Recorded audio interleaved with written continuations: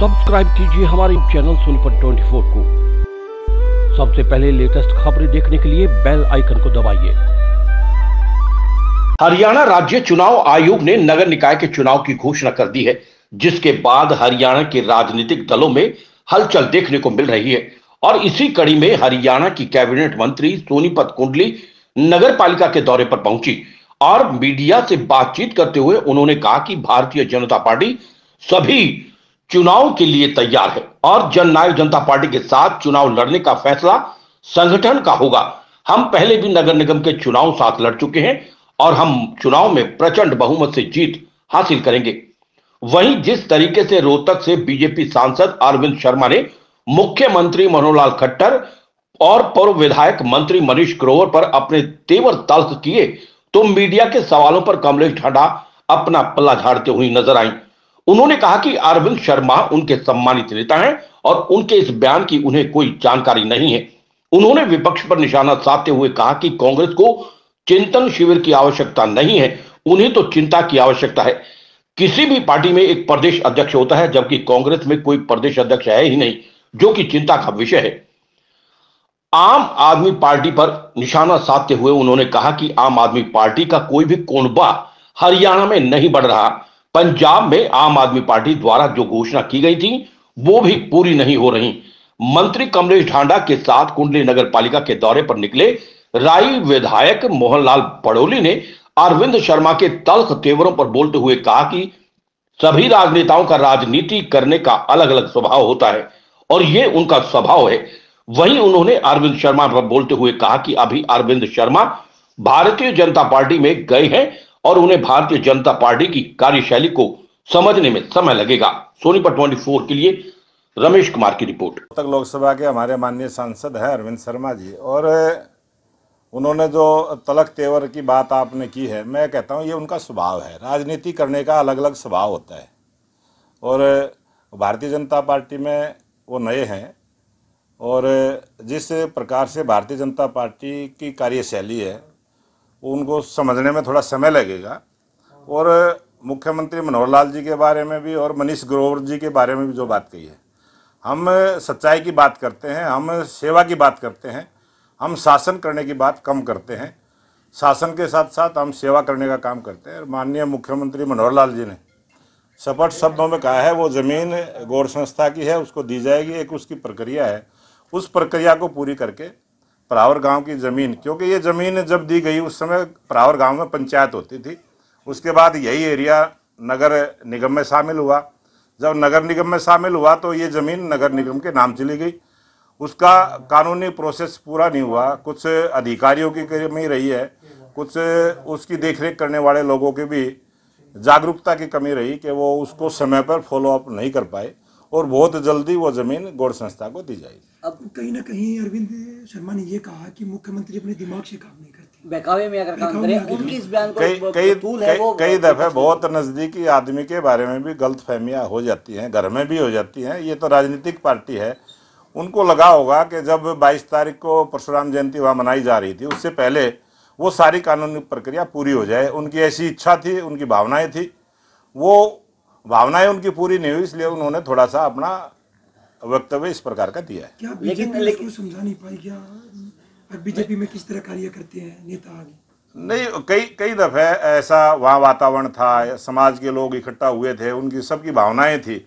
उन सब की भावनाओं का आदर करने के लिए उन्होंने इस प्रकार के शब्दों का प्रयोग किया। लेकिन विपक्ष लगातार अरविंद शर्मा के इस बयान को तूल देता हुआ नज़र आ रहा है। विधायक जी विपक्ष कह रहा है कि ये- बीजेपी बीजेपी पार्टी है वो अपने सांसदों को ही नहीं समझा पा रही है। बीजेपी पार्टी एक बहुत ही सूझबूझ से, बहुत ही संगठित तरीके से देश के बारे में सोचती है, प्रदेश के बारे में सोचती है, समाज के बारे में सोचती है, सभी का सम्मान करते हुए भारतीय जनता पार्टी काम करती है और सभी का सम्मान होगा, हमारे सांसद जी का भी होगा और समाज के लोगों का भी। अभी निकाय चुनाव और नगर पालिका के चुनाव है वो आ, रहे हैं। क्या आप जननायक जनता पार्टी के साथ गठबंधन में चुनाव लड़े जाएँगे क्या विधायक जी? अभी जब हमारा विधानसभा का चुनाव हुआ तो दोनों पार्टियों ने अलग अलग चुनाव लड़ने का काम किया था। जिस तरह अब पंजाब में अब अब अब अब, अब किस तरह स्टैंड अब उसके बाद हमारा गठबंधन हुआ है उसके बाद हमारे अभी चुनाव हुए थे नगर निगम के तब भी हमने गठबंधन में चुनाव लड़ा था।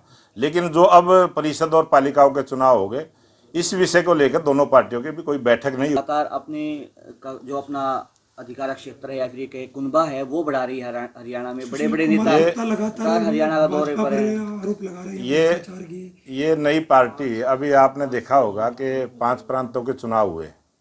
तब काफ़ी राजनीतिक पार्टियों ने अपने गठबंधन किए इस प्रकार का वातावरण देश में बनाने का प्रयास किया। और चार प्रांतों में बड़े बहुमत के साथ हम जीत कर आए हैं। और आज देश की जनता ने मान लिया कि 2024 में भी प्रधानमंत्री नरेंद्र मोदी जी का कोई विकल्प विपक्ष के पास नहीं है। वो फिर 24 में तीसरी बार इस देश के प्रधानमंत्री बनेंगे। हरियाणा प्रदेश में मुख्यमंत्री मनोहर लाल जी के नेतृत्व में फिर तीसरी बार भारतीय जनता पार्टी की सरकार बनेगी। ये आम आदमी पार्टी तो मैं कहूँगा इसमें जैसे एक खरपतवार होती है और वो उगती है और लेकिन थोड़े से छिड़काव में वो नष्ट भी हो जाती है। तो जनता उसका समाधान अपने आप करेगी। उनतीस फरवरी को खुद केजरीवाल आ रहे हैं हरियाणा के कुरुक्षेत्र में। उसको लेकर तैयारियाँ जोरों शोरों पर हैं। हरियाणा की जनता बड़ी राजनीतिक सूझबूझ से बड़ी जागरूक है। हरियाणा के लोग बहुत राजनीति में जागरूक लोग हैं और दिल्ली का शासन केजरीवाल का देख चुके हैं उनकी झूठों को पहचान चुके हैं और जिस प्रकार से पंजाब में उनके मुख्यमंत्री के बयान और जिस प्रकार की सरकार चल रही है उससे सबको अनुमान है।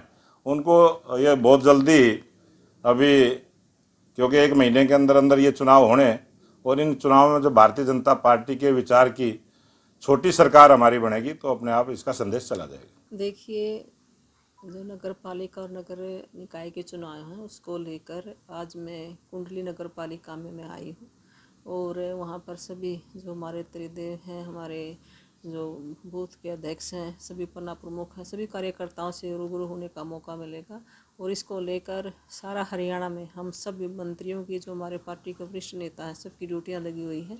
सबको अलग अलग से नगर पालिका, नगर निगम के जो चुनाव उनकी ड्यूटियाँ लगी, इसको लेकर आज मैं सोनीपत में आई थी और हमारी भारतीय जनता पार्टी की बहुत अच्छी तरीके से तैयारी है और हम इसमें लगे हुए हैं। जे जे पी के साथ मिलकर बीजेपी चुनाव लड़ेगी?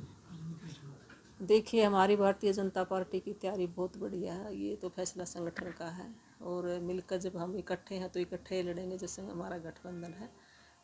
तो फैसला मैडम जिस तरह कांग्रेस ने चिंतन शिविर किया था उसको किस तरह देखते हो? लगातार कांग्रेस भी कह रही है कि अब की बार अब की बार भारतीय जनता पार्टी है वो सत्ता से बाहर होगी और निकाय चुनाव या नगर पालिका जो चुनाव है वो हम उसमें प्रचंड बहुमत से जीत हासिल करेंगे। कांग्रेस कह रही है। कांग्रेस कह रही है। देखिए, कोई भी कुछ कहता रहे, आपने पता है कांग्रेस का तो कांग्रेस का तो चिंतन के चिंता का विषय है उनका तो पहली बात तो उनका कोई एक जो प्रदेश अध्यक्ष है, पार्टी का एक प्रदेश अध्यक्ष होता है, उनके कई प्रदेश अध्यक्ष जो बने हैं, ये की चिंता का विषय है, और ये हमारी भारतीय जनता पार्टी का संगठन मज़बूत है, एक परिवार है, और बड़ी मजबूती के साथ हम ये चुनाव लड़ने का काम करेंगे और जीतने का काम करेंगे। मैम, कल रोहतक में ब्राह्मण समाज है, परशुराम जयंती है, वो मना रहा है, वहाँ पर अरविंद शर्मा के तलक तेवर हैं, वो मुख्यमंत्री और मनीष ग्रोवर के खिलाफ देखने को मिले उसको लेकर आपकी प्रतिक्रिया क्या है? देखिए अरविंद जी हमारे माननीय हैं और सम्मानित हैं। मैं इसमें क्या कहूँगी वो तो मैंने इतना इसके बारे में कुछ पता भी नहीं है। तो जो उसमें दिक्कत उन्होंने कहा कि मुख्यमंत्री अपने दिमाग से काम दिमाग से काम नहीं लेते केवल बहकावे में काम देखिए। हमारे प्रदेश के मुख्यमंत्री आदरणीय मनोहर लाल जी एक बहुत ही विकासपुरुष ईमानदार मुख्यमंत्री हैं और एक बड़ी सूझबूझ के साथ काम कर रहे हैं और हमारा सरकार हमारी जो प्रदेश सरकार है बढ़िया तरीके से चलाए हुए हैं और हमारे आदरणीय मुख्यमंत्री बहुत मज़बूत हैं लेकिन मैम अरविंद शर्मा जी बड़े नेता हैं बीजेपी के सांसद भी है रोहतक से उनके तलक तेवर मुख्यमंत्री के खिलाफ और पूर्व विधायक मंत्री के खिलाफ इस तरह से सामने आना कहीं ना कहीं पार्टी में एक चिंता का विषय तो है। देखिए मैं उनका सम्मान करती हूँ हमारे सांसद हैं और वो तो उन्हीं ने देखना उसमें मैं कुछ नहीं कह सकती। आम आदमी पार्टी मैडम लगातार अपना कुनबा है वो हरियाणा में बढ़ा रही है उसको लेकर आपकी क्या प्रतिक्रिया है? आम आदमी पार्टी एक टकोसला है कोई कुंबा नहीं बढ़ रहा है। उनका जो उन्होंने पंजाब में घोषणा की थी पहली बात तो वो घोषणा ही नहीं पूरी कर सकते हुए और आज अगर मज़बूत है तो सारा देश और प्रदेश में। भारतीय जनता पार्टी एक ऐसी पार्टी है जो एक मजबूती के साथ काम करे हमारे सभी कार्यकर्ता अपना परिवार समझकर इसमें काम कर रहे हैं।